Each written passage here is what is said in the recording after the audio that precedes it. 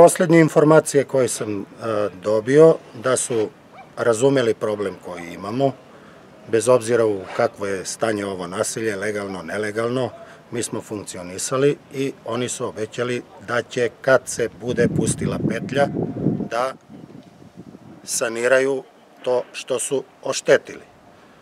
Iz pređašnjih priloga i dosadašnjih obraćanja ja pravo da vam kažem im ne verujem.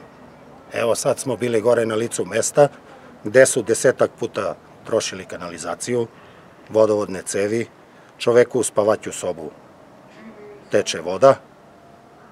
Obećali su da će to da srede i od tada je prošlo dve godine. Tako da i ovaj problem ovde, čisto ja im ne verujem, ali ako urade, hvala im. Mada je dogovor bio da što manje koriste ove alternativne puteve, koje su meštani izgradili svojim novcem. Evo vidite ovaj prolaz je opet, tu je voda, kanalizacija,